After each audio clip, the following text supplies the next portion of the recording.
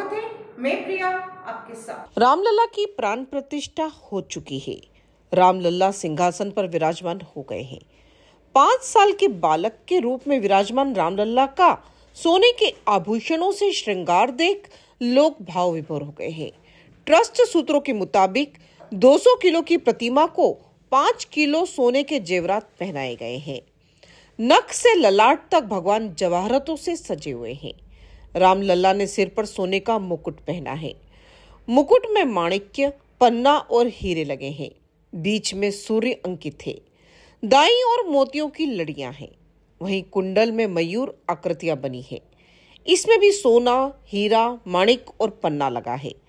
ललाट पर मंगल तिलक है। इसे हीरे और माणिक से बनाया है।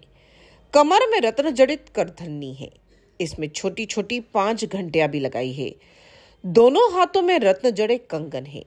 बाएँ हाथ में सोने का धनुष और दाहिने में सोने का बाण है। भगवान के दोनों हाथ और दोनों पैर में सोने का कड़ा है। दाहिने हाथ के अंगूठे में एक अंगूठी है। रामलला के चरणों में सोने की माला से सजा कमल है। भगवान के सामने खेलने के लिए चांदी से बने खिलौने रखे हैं। इनमें झुंझुना, हाथी, घोड़ा, ऊट, खिलौना, गाड़ी आदि है। इसी के साथ बने रहिए। एशिया न्यूज़ इंडिया के साथ धन्यवाद।